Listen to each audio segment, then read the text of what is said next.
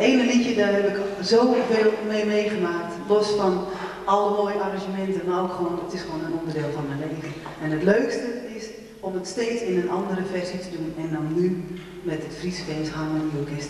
Het liedje heet House for Sale.